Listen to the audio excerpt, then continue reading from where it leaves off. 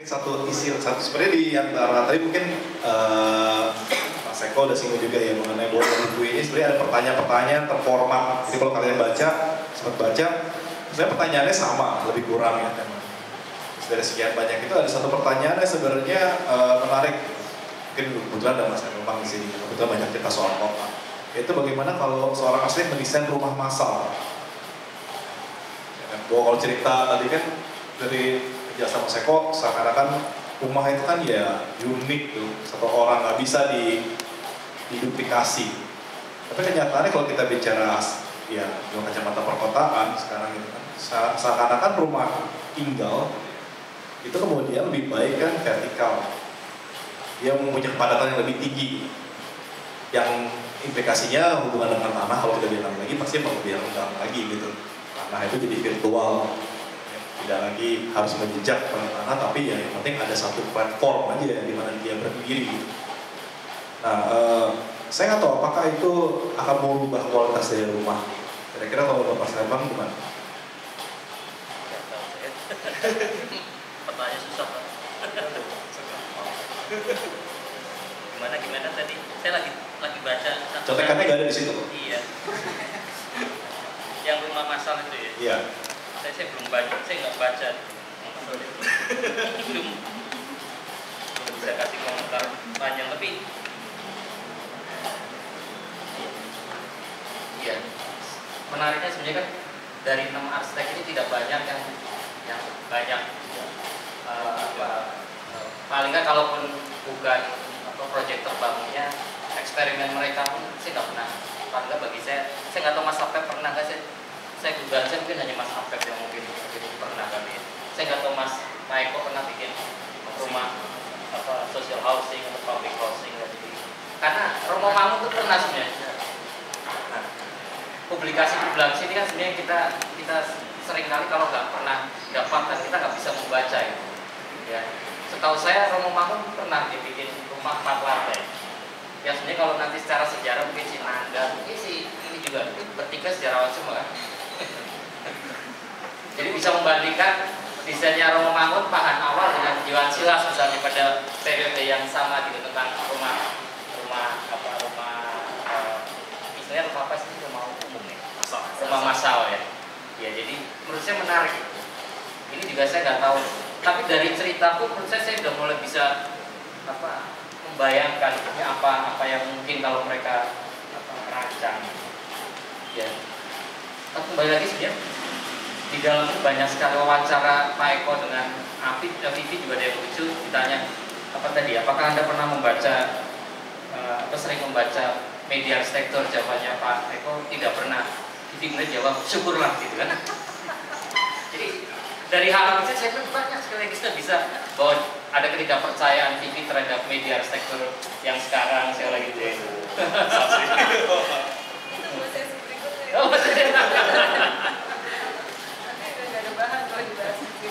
nggak boleh kan Jadi, semakin saya baca satu-satu ya semakin seru kembali lagi tadi. Akan lebih seru kalau tadi muncul kan. Atau memang sengaja modelnya Vivi gitu. Jadi kita disuruh membayangkan sendiri gitu kan. Jadi arsitektur nggak perlu nggak mesti harus ada gambar gitu kan. Jadi membayangkan sendiri tapi pada sisi itu sebenarnya kita berguna juga. Bagi saya tadi kalau denah itu bisa muncul dua tiga satu satu aja itu akan menjadi menjadi pelajaran yang sangat berharga. Uh, berikutnya saya saya nembak aja sebelum sebelum ditanya David itu mumpung ingat. An, uh, saya kira buku ini juga semacam kritik terhadap pendidikan arsitektur di Indonesia gitu ya. Jadi kita sebagai dosen itu mesti hati-hati karena kalau secara tidak langsung membaca ini arsitek besar itu selalu mengingat bahwa siapa yang pernah mengajari dia gitu.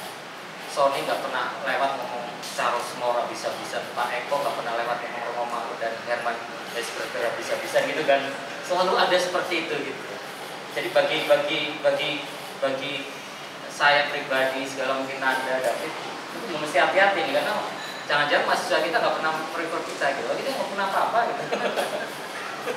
Jadi saya kira ini satu satu titik yang yang jadi berharga sekali uh, apa buku ini. Secara personal satu-satu dikupas seperti kulit bawang gitu kan. Semakin dikupas semakin menyakitkan katanya gitu kan. Ikut-ikut puisinya. TV lah.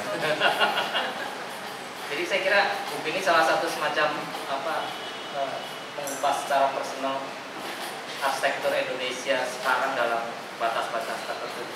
Mungkin akan menarik, saya nggak tahu kenapa Ridwan Kamil nggak dipilih gitu ya, ngetok sekali sebenarnya. Mungkin akan menarik juga kalau untuk, untuk membaca gitu ya, kenapa dia yang kedua nanti. Ya. Jadi dalam arti sebenarnya kita kemudian mengerti gitu ya, cerita-cerita di belakang layar jadi apa behind the scene-nya gitu, jadi menarik. Dan saya kira Vivi yang paling jago kalau nggak ditanya Vivi kalau yang wawancara Nada mungkin dengan Eko sejam udah bosan gitu Eko Vivi seharian oh oke aja loh.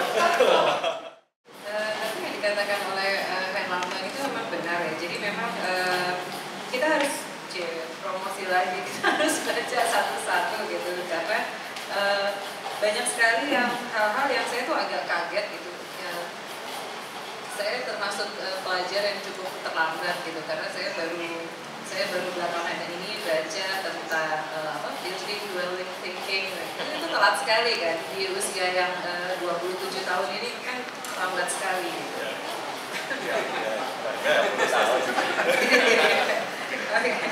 Dan ternyata uh, dengan cara yang lain gitu, Tancang A itu bicara hal yang sama, gitu. Pak Eko bicara hal yang sama gitu. Jadi uh, duluan terkenal gitu tapi sebenarnya yang diomongin uh, sama aja gitu. Tapi ya itu tadi apakah hal-hal seperti ini akan keluar pada saat kita kuliah gitu? Mungkin enggak. Jadi apakah saya pada saat studio uh, Pak Eko akan bilang hal yang uh, sama pada waktu tugas untuk membuat rumah seniman misalnya gitu? Pak Eko akan bilang bahwa kalian harus memper yang maju gitu ya kalian harus memperhatikan apa yang ingin dikatakan oleh tanah gitu. Mungkin mungkin enggak nah, seperti itu gitu ya. Atau mungkin eh, Pak Tancang Ai juga nggak akan oh, Tancang bukan uh, bukan ini ya bukan bukan dosen Pak Tancang Ai keywordnya bisa korek atau Mas apa yang misalnya di di, di uh, kampus akan uh, bilang bahwa uh, tapi kalau itu mungkin sih soalnya itu emang teknis sekali bisa. Bisa dijadikan contoh. Ya, tapi banyak sekali hal-hal yang memang rasanya tidak akan mungkin diberikan pada saat kuliah. Ya surprise juga karena ternyata uh, banyak statement saya yang nggak terlalu teknis ya. Tapi mereka memang tanpa disadari seperti itu. Tapi kalau di studio saya memang lebih banyak teknis banyak. Cuman uh, karena saya kira betul ini kita semua. Proses yang sebetulnya mahasiswa sendiri sudah sudah punya saya Pak Eko tadi katakan uh, sudah ada sejarah yang cukup panjang bagaimana mereka berbunyi. Jadi waktu bercerita tentang berbunyi lebih kepada uh, sebenarnya mencari mencari diri mereka sendiri. Apa yang uh, mereka alami dan uh, apa refleksi mereka tentang uh, sebuah rumah, sebuah tempat berbunyi pada saat mereka merancang. Karena selama ini mereka mereka tidak merancang. Mereka hanya tinggal taken for granted saya di rumah itu tapi pada saat diskusi yang lebih uh, apa namanya abstrak um, muncul sebenarnya berbagai hal yang barangkali awalnya mereka tidak sadar hal-hal yang sebenarnya selama mereka tinggal di rumah tidak mereka Kebetulan saya juga dosen, tapi uh, proses di studio agak beda saya kira. Ketika uh, tujuannya beda. Kalau ini mungkin mendesain rumah, keputusan-keputusan lebih lebih gini bolak balik di pikiran kita. Tapi ketika kita melihat seseorang mendesain hal ini mahasiswa bagaimana kita berusaha membuat ya sebenarnya tekanan-tekanan atau dicek lah ini seberapa ini kuat di sini atau oh ini harus didorong ke sini. Di, di prosesnya di manipulasi sebenarnya supaya jadi conscious gitu. Jadi jika dia begini ditekan di sini supaya oh ini memang ke sana atau didorong ke sini atau ditarik ke sini. Nah itu juga lewat komentar-komentar yang tentu bukan membuat mereka seperti saya dalam studi tapi supaya mereka itu sadar pada keputusan-keputusan. Iya, mundur rubis nah, minimal mundur. minimal minimal minimalis tropikas gitu. Oh, pokoknya yang kita cari di konteks segala nemu tapi di majalah nemu gitu. Biarpun butuh teks juga harus dipertanyakan jadi mereka ada bicara tentang rumah yang saya sudah menarik. Saya cuma tinggal tunggu punya gitu beda satu dengan saya waktu saya lihat ini ternyata wawancara yang saya suka dengan metode wawancara wawancara itu memang nggak apa ya eh, wawancara itu selalu langsung. Kalau itu ditemui bukan lewat email bukan lewat email. Kalau lewat email orangnya bisa bahkan kalau perlu minta sekretarisnya jawab gitu kan. Tapi kalau ini didatengin sering di take kopi harus jawab sekarang juga di tempat saya kan gitu kan. Nah itu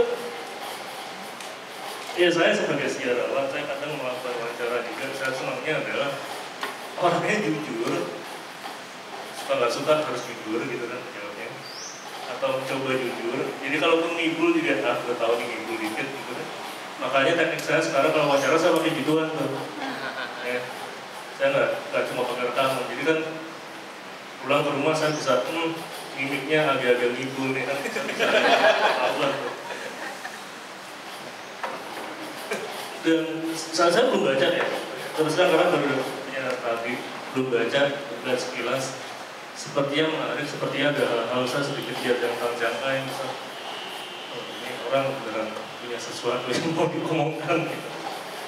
Biarpun belum bisa ngomong banyak kesulitan saya waktu saya melihat digital menyebarkan apa sedikit gitu tulisan. Iya bahasa Indonesia nya bung ya saya sempat SMS sama David. Tidak bisa disimpulkan. Nah, akhirnya ya sudah pakai cara curang aja. Cara curangnya anda baca tulisan saya di awal-awal itu cara curang saya.